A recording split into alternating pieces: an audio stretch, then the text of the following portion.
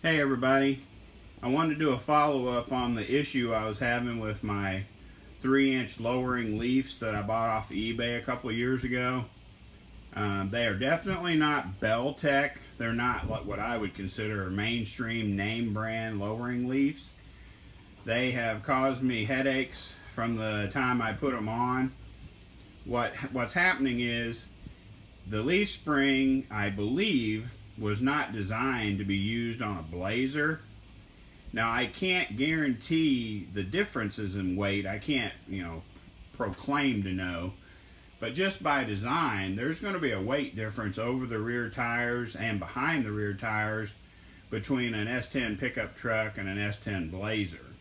I mean, that goes to reason. That doesn't take a lot of intu intuition. But the problem I'm having is, is the springs are so weak that they, A, lowered the vehicle three inches, which is fine. That's what I bought them for. But they won't stop the rear end from squatting. And I mean squatting bad because I could jump on the back bumper and bounce the frame off the top of the rear end housing. Just, you know, metal on metal contact. Clang, clang, clang, clang. Even with the stupid uh, shocks on there, if you hit any kind of like undulation, pothole, anything in the road, it'll literally slam the rear end housing into the bottom of the frame and sound like you're breaking something. So, you know, that's definitely not going to be acceptable. So, I originally thought that because I lowered the vehicle and left the stock uh, shocks on there, I thought I'd blown out the inside valving of the shocks. Maybe that was contributing contributing to why it was uh, bouncing up and down and compression so easy was maybe those shocks were blown. But I took the factory shocks off, and lo and behold, they still compress and rebound just like it should. I mean, they're not broken or anything. So it only lends more credibility to my theory or my hypothesis that these stupid leaf springs just aren't, uh, don't have the strong enough spring rate to properly support the back of this vehicle. Um, I think I've mentioned before, but it warrants mentioning again, a leaf spring vehicle is never supposed to squat. And I know right now there's few people with that purple poof coming out of their head going poof. I don't understand that. You're crazy. Don't talk nonsense. But I challenge you to look at any online source, book, reference, chassis builder, chassis tuning guides, anything like that. Leaf springs are the complete opposite than a coil spring car. Let me repeat that. A leaf spring vehicle operates completely opposite of a coil spring vehicle. Okay?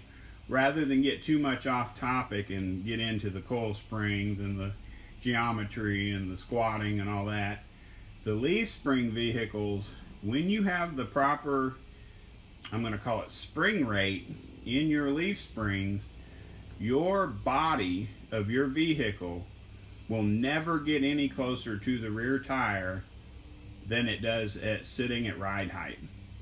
Now, if you start piling like six or seven people in there and put a hundred, to a couple of hundred pounds in the trunk, you could eventually squat that car and bring that body down. But I'm talking about a normal situation normal amount of uh, weight in the passenger compartment. The body of the car should never go towards the tire even at full throttle wide open launch.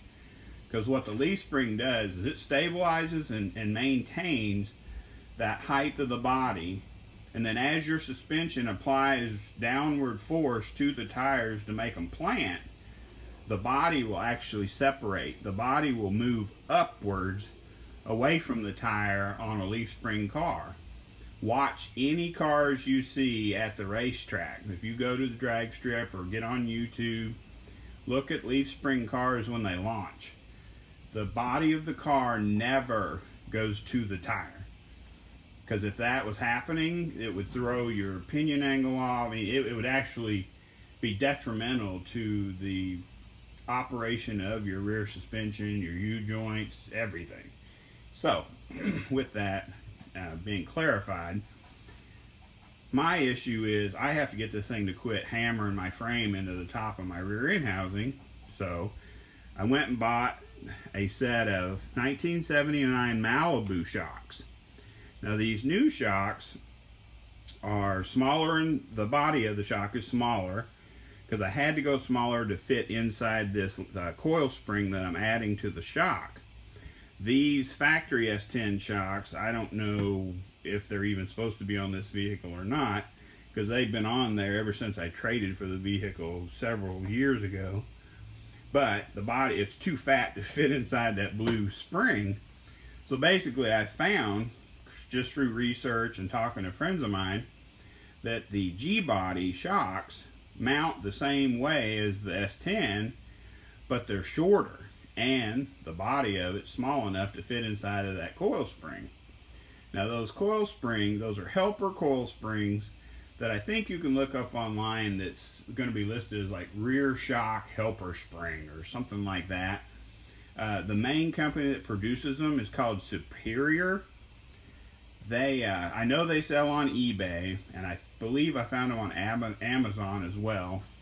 What that is, is this set that I have, because they do have ones that are stronger, this is what's called a 750 pound rear helper spring kit. So basically what it does is it clamps to the body of the shock and adds a 375 pound coil spring to each side of your vehicle to help support the weight.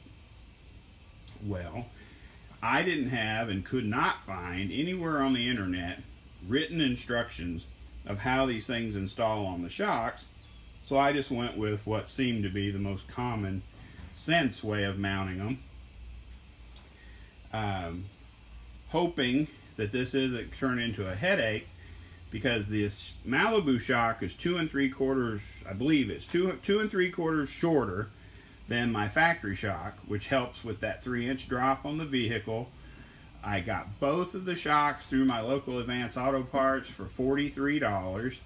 So I can't beat that price. You know, these are Monroe oh Spectrums or something. It was like their premium replacement shock for a 1979 Malibu, which gives me just darn near the three inch change in my shock length. I was able to add on my Superior. I'm assuming they're Superior because I got that kit in a trade without the bolts from a friend of mine probably four or five years ago. I actually forgot I had them and then I realized, wait a minute, I might have a leaf spring helper set to try to fix this stupid S10 Blazer. So anyway, long story short, I uh, went and got the bolts, found a deal on the shocks, and uh, decided today was a nice enough day that Eli could help me because it's going to be a pain in the neck to do those top upper bolts because I only have one hand that can reach above my head so holding that bolt to start and tighten those two nuts up top are going to be my biggest challenge. Um, another challenge I've had or noticed was I measured the I measured the stock shock when it was still on the vehicle and it literally from where the bolts mount at the top to the bottom of the bolt at the bottom the major big bolt was 16 and a half inches well I'm looking at the even these Malibu shocks. They're going to be pretty compressed. I mean, it's definitely going to be into the starting where the the uh, I'm going to say these uh, coil springs, these helper coil springs, they are kind of a progressive design.